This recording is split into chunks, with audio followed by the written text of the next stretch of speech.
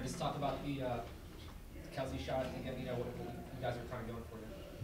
Yeah, um, at the end, initially the play was to um, get. I was screening for Sarah, and I was supposed to go in there, but they had doubled down on her, so Kelsey just made a great play and made the shot.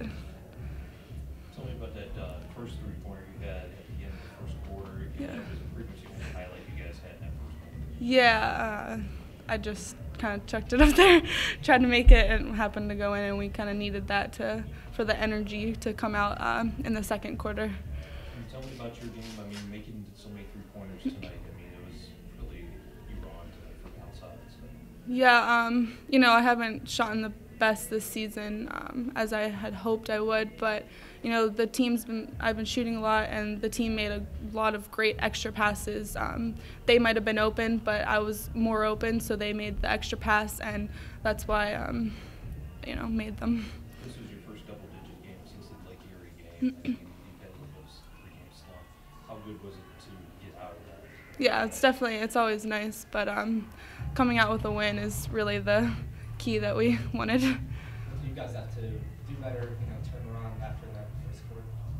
Yeah, um, I think we just came out and our energy wasn't up. Um, we weren't being aggressive like we needed to be right from the start, and that really put us in the hole. And once we real, I don't know, once our energy started to pick up, we realized like, hey, we need to get going. Um, that's when we really started to bring it on them. Seems like you guys have struggled early sometimes. What's it going to take to kind of get over that hump and then put together a strong first 10 minutes and kind of equate that to the next 10, to the next 10, to the next 10?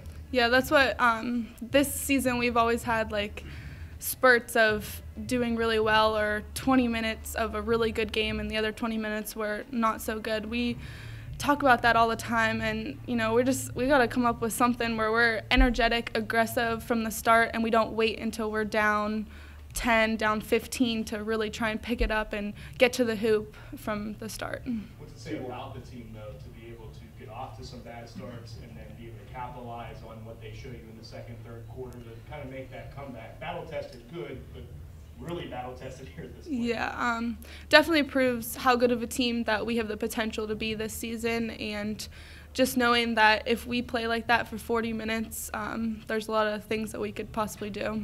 Last one. Thoughts on Green Bay?